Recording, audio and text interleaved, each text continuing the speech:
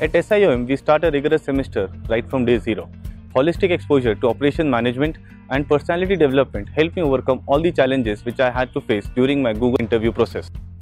During my internship, the learning and exposure at SIOM made my life very easy and internship effective for the whole two months.